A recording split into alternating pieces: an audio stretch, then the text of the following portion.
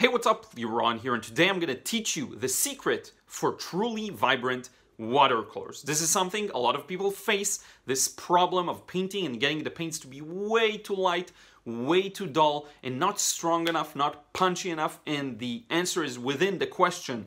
The colors are too light and two dull. So let me show you first an exercise. So this is an exercise I believe that if you do enough of, you will feel huge improvement in the way your colors look. And here's what it entails. What I want you to do is grab a bunch of paint here from the palette, whatever color you like, and look at this.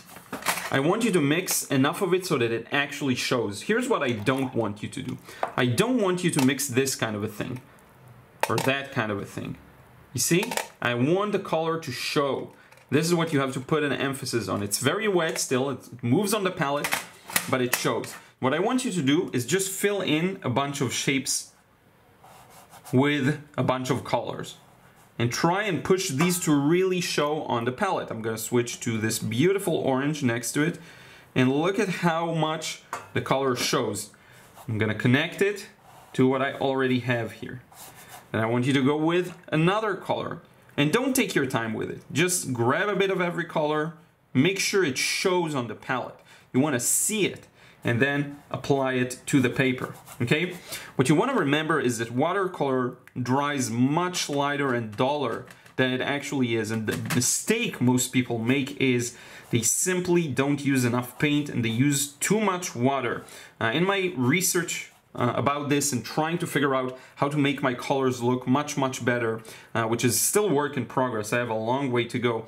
What I realized is that this is a big part of the equation, getting the right uh, value and the right kind of darkness. And I will mention a few additional tips uh, for how to get this to work, but for now I want you to do this kind of an exercise. And let me switch over to handheld mode uh, and show you this up close. Let's take more of this beautiful phthalo blue here. Hopefully the camera isn't too shaky. And you see it still flows, it still moves on paper, but I want it to really show, not only on the palette, but also on paper.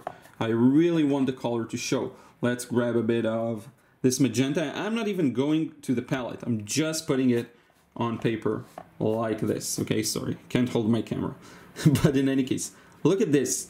If I go like this, with a very light color, you won't see this beautiful violet. It'll dry much lighter. I want you to be able to see the violet. Look at this. Look how beautiful of a color that is.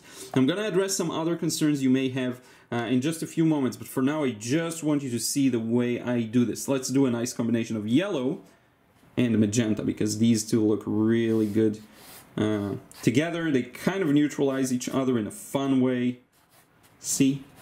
And if you can get these and do these quickly on paper before the edge dries so that you actually uh, get a, smooth, uh, flowy transition. This is what you're after here. Uh, let's get a bit of the lemon yellow here for the corner. Uh, that's what you're after here. You're after a smooth transition, okay? You want to go quickly. Get the color you need, put it on paper. I know this may feel almost opaque to some people because you're so used to painting with watered down paints so no, you want to drop that um, and really, really put it out there. Put the paint to show, okay? Put it to show. So I hope the exercise is clear. Do this, fill in a bunch of shapes, work fast, try for it to really, really uh, show the color on paper and to really get an, sorry, that's my finger, to really get an even uh, transition between them like you see here. And now let's talk a bit about some pointers. So this is the kind of thing you should end up with, vibrant, beautiful colors and abstract shapes, nothing realistic here. Now we do want to talk about some pointers. What about working in thin glazes, meaning instead of just putting the paint immediately, you slowly build it up with thin, watery, almost tea consistency glazes? Well, I have done some reading on handprint and I discovered, based on they what they say there, uh, with proof, that it is not superior to working in single layers, meaning if you paint in glazes, multiple glazes, it is not going to lead to a better result than putting the paint you want in the value you want immediately. It may actually look better if you do it more directly. So that's an important pointer. Now, what about value? Because what we're talking about here is actually a darker value. All of these to get them to look vibrant, we used more paint, meaning a darker value. So how does that reconcile with actually getting the accurate value in your painting? Well,